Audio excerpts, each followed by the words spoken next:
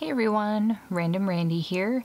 In today's tutorial I'm going to be showing you how to make this extra scrubby exfoliating washcloth or dishcloth. It has enough texture to help clean pots and pans, but it is also soft enough to use on your skin. Here are the materials that you will need. You will need cotton yarn. In this case, I have some Lily Sugar and Cream on hand, and I also have some Premier Home Cotton, which is an 85% cotton, 15% polyester blend. And as you can see, this one is orange and white with varying depths of color to the orange throughout, as you could see in the cloth the colors actually change throughout here, creating an almost striped effect. And I am going to be using the Cotton Poly Blend Premier Home in this tutorial because the blended fibers mean that the projects will, according to the wrapper, stay brighter, dry faster, and last longer. If you've ever used 100% cotton, you'll know that after a few hot washes it tends to start to fuzz.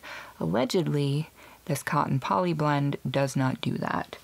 So, that takes care of the yarn, which is one of the most important things that you'll need. You will also need a crochet hook. In this case, I am using a 4 millimeter hook or a USG hook. I'm using a Susan Bates inline hook. That's just personal preference. You can use a Boye hook, you can use another ergonomic hook, off brand, whatever you're comfortable with or whatever you have on hand. Doesn't really matter.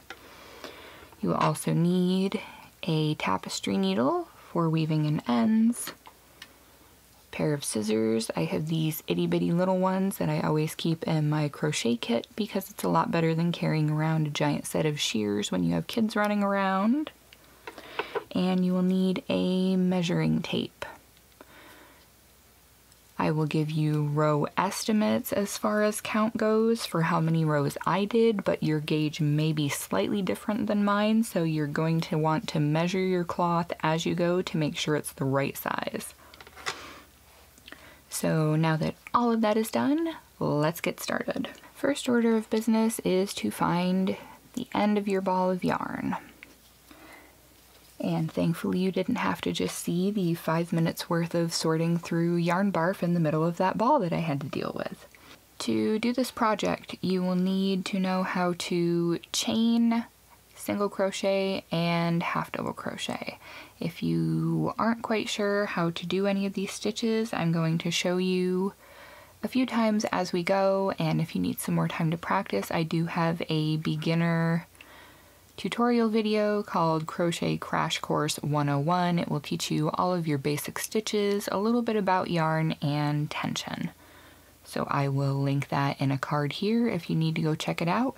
And otherwise, let's grab that hook and the yarn and get going. To start off, you're going to need to make a slip knot. To make a slip knot, I just wrap it around my fingers, pull it through the center here like so, pull it through. Now you have a loop that you put on your hook, and you gently tug your yarn until it's snug against your hook for this particular project to make a square that is approximately 8 inches by 8 inches, we're going to start off with 30 chain stitches. To make a chain stitch, you take your yarn around the back of the hook to the front, that is called a yarn over. You yarn over and then pull the hook through the loop you have one chain stitch. Yarn over, pull through, yarn over, pull through, yarn over, pull through, yarn over, pull through. So that's five chain stitches, and when you've performed them correctly, you can see it sort of looks like a braid almost. So go ahead and make the other 25 chain stitches and I will meet you once you have 30 of them complete.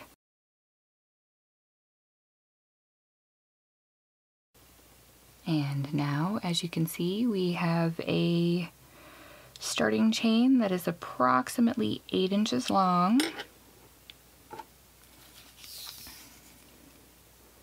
Yep, right on the 8. Now, we started with 30 chains, but since the first stitch of our next row is going to be a single crochet, we're going to chain one more, which will count as the turning chain. That one that you do at the end will not count as a stitch, but it will be important at the end of every row to ensure that you have straight edges. So you're now going to put your hook through the second chain from the hook. This will be your first stitch. You're going to yarn over, pull up a loop. So you have two loops on the hook, yarn over, pull through. That is a single crochet stitch. The next stitch is a half double crochet. You begin it the same way you would a double crochet, meaning you yarn over before you insert your hook into the stitch. Now poke through the stitch, yarn over, pull up a loop, so now you have three, yarn over once more, and now you're going to go through all three of the loops that are on the hook. And now you have a single and a half double. So we'll go through that slow a few more times. Go through the next stitch, yarn over, pull up a loop, yarn over, pull through two loops, yarn over for the half double, through, yarn over, pull up a loop, yarn over through all three stitches. So the next one is a single crochet. You're just going to go through the stitch, yarn over, pull up a loop, yarn over, go through two loops, yarn over, go through the next stitch, yarn over, pull up a loop, yarn over, pull through all three loops.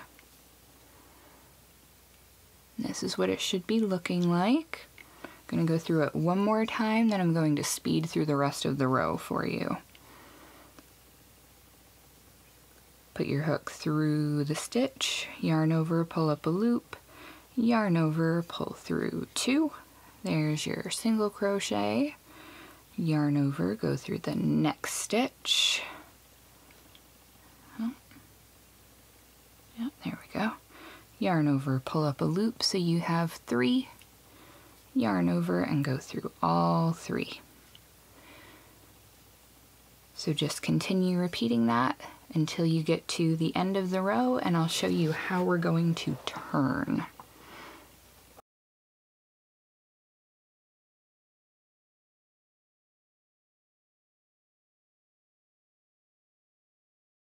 So now we are to the last two stitches of the first row. This next stitch will be a single crochet and the last stitch should always be a half double crochet. Now we're going to chain one and turn our work. So now we're looking at the back side of the row.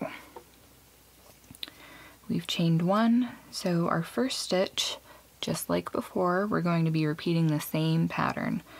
You're going to go into this space here, not the chain stitch that you just created, but the top of your first single crochet from the last row.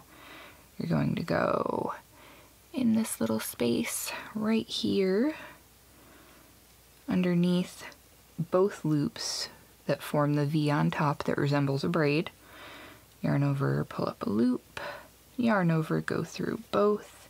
That is your first single crochet. Your next stitch, you'll notice that there's a slightly bigger hole here. That's going to help you keep track of what stitch you're on if something happens or you lose count. If you're a counter, personally I just do the pattern repeat in my head, single, half double, single, half double. But these spaces that are slightly bigger is where your half double crochets are going to go.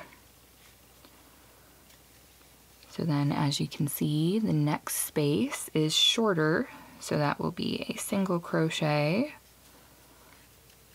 And the space after that is slightly bigger, so that will be a half double. One more time, single crochet goes in the short space and half double crochet goes in the larger next stitches space. So I will speed through to the end of this row and you're just going to continue as before by doing a chain one and turn and you will keep repeating that pattern until your washcloth is the size that you desire it.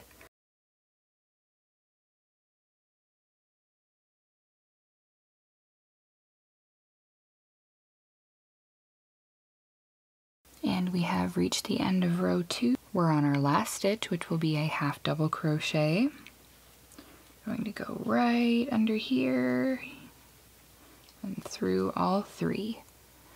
Now to get to the next row, you just chain one, turn, and start the process all over again.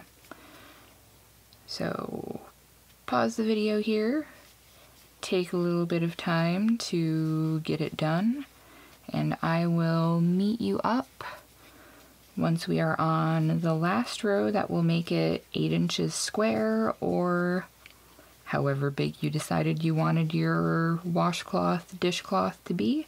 And I will show you how to finish off with a little loop for hanging. And now you will notice a distinct color change in the yarn, but we're still going to finish it off the same way. So the cloth has now reached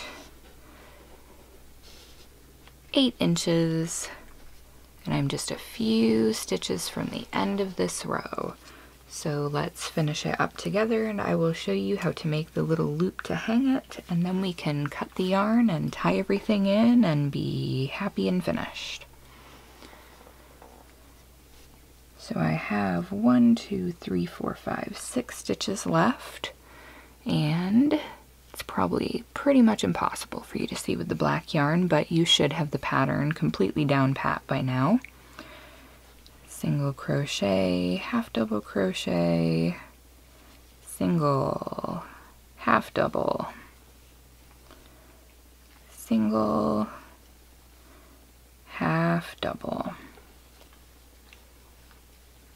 So now that we have finished the last stitch of that row, we are going to chain 10 right here in this corner.